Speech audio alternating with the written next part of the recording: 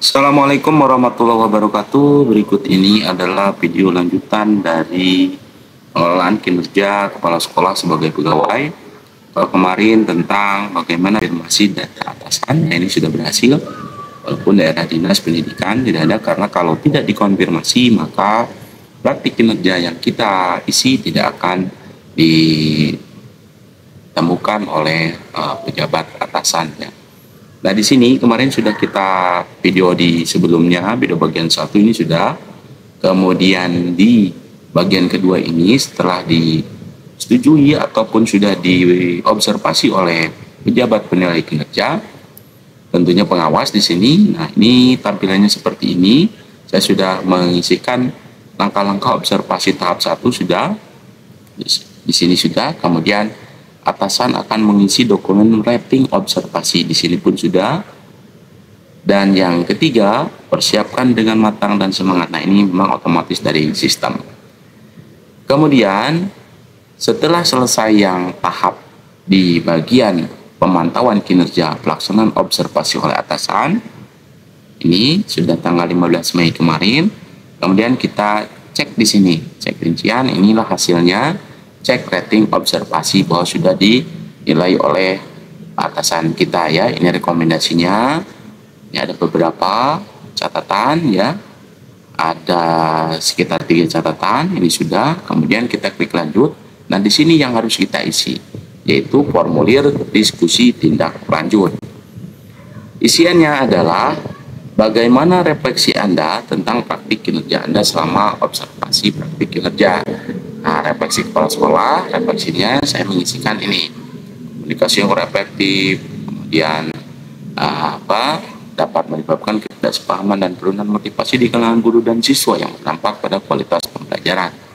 Ini sudah diisi karena panduan pengisian ini tantangan bisa berupa salah satu kondisi baik kesulitan, aspek praktik yang ingin dicapai, kemudian perubahan praktik agar lebih berdampak tantangannya setidaknya ada penjelasan perilaku yang menggambarkan tantangan, faktor-faktor yang menyebabkan tantangan, kemudian dampak dari tantangan tersebut.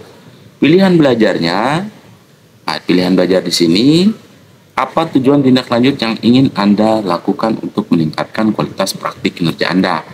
Di sini tujuan tindak lanjutnya saya akan memastikan bahwa pengawasan terhadap proses pembelajaran dilakukan secara rutin, berkualitas, memberikan umpan balik konstruktif kepada guru yang akan berdampak positif pada kualitas pembelajaran dan hasil belajar siswa. Nah, ini biasa kita lakukan baik itu observasi kelas dalam dalam PMM atau supervisi ya. Kemudian upaya-upaya yang ingin Anda lakukan untuk mencapai tujuan tindak lanjut tersebut mempelajari melalui PMM, observasi kelas rutin, menjalankan observasi kelas secara rutin untuk memantau pengajaran yang digunakan oleh guru. Kemudian memberikan feedback konstruktif, memberikan umpan balik yang konstruktif dan spesifik kepada guru agar lebih jelas gitu ya. Setiap observasi pengembangan instrumen pengawasan, mengembangkan instrumen atau checklist pengawasan yang terstruktur untuk mudah dievaluasi. Biasanya kami menggunakan aplikasi dalam observasi ya. Ada berupa file Excel. Kemudian kapan? Nah ini saya akan memulainya. Ini sebagai tindak lanjutnya. Awal tahun pelajaran baru lah dimulai dari Juli dengan terjadwal secara periodik ya. kemudian dukungannya apa saja? Penyediaan akses sumber belajar melalui satuan pendidikan. Ini kami di satuan pendidikan saja melalui komunitas belajar dan untuk pilihan belajar platform Merdeka Mengajar sesuai dengan Perdirjen GTK nomor 7327 tahun 2003 tentang model kompetensi kepala sekolah, saya memilih satu karena memang minimal satu. Jadi saya memilih menyesuaikan visi misi tujuan satuan pendidikan di tahap siap. Komunikasi efektif dengan warga satuan pendidikan yang mengarah pada peningkatan kualitas satuan pendidikan ini saya kira ini relevan dengan apa yang saya isikan di atas. Kemudian kapan Anda akan mempelajari PMM? Saya ambil di bulan November.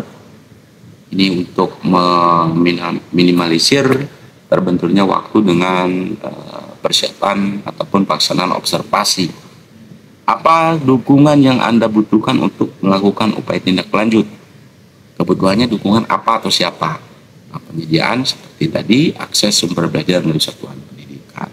Ini Bapak Ibu silakan dicek di blog saya, boleh isiannya. Ini saya uh, menuliskannya isiannya atau membuat beberapa referensi.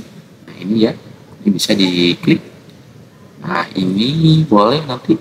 Nah ini boleh dipilih mana yang kira-kira ini sebagai referensi saja yang bisa Bapak Ibu masukkan ke dalam rencana tindak lanjut.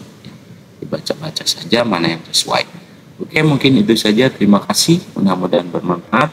Saya akhiri wassalamualaikum warahmatullahi wabarakatuh.